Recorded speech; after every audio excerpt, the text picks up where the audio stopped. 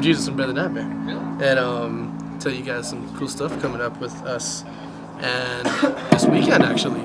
So Saturday we have a show at um, the Blackwater, and people that will be playing are Reformers, Brave Coasts, Red Enemy, and then Ghost Truly Bear the Nightmare, and another buddy band of ours named Cicada, which you should check them out. They're sick.